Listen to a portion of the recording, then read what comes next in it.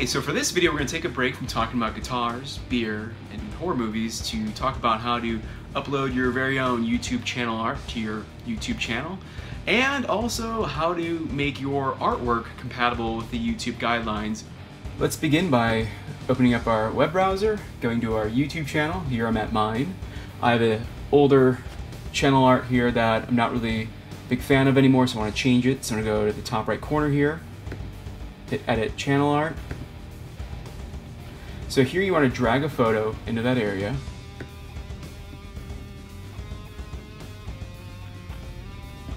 And it's unsuccessful. It reads, the photo you uploaded is too small, must be at least 2048 pixels wide and 1152 pixels tall.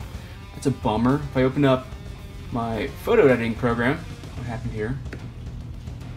There we go. It shows that the photo I want to upload is 1920 by 1080, so how the heck are we going to get it to YouTube's uh, Standards. Well, I have a solution. I found this awesome website called Online Image Resizer where you can upload your photo, your artwork that you're already really happy with to match exactly what YouTube is looking for. I'll also include the link in the profile so don't be worried about writing anything down. But I'm going to take the photo, which is on my desktop, and drag it and drop it right into the browse area. Click Upload Image. Now this is pretty cool. So top left corner, hopefully you can see that, I get to enter the parameters I need to work with. So we need 2048 by 1152. Boom, 2048 by 1152, perfect size. Uh, output JPEG, which is perfect. So let's click this. Download resized. Okay.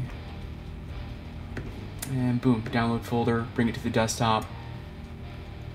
Perfect, now let's go back to YouTube. I've updated my photo. We're in drag and drop. And mission accomplished. So as you can tell, YouTube makes it pretty easy uploading your channel artwork. It's just resizing it is where it becomes a little bit of a challenge sometimes.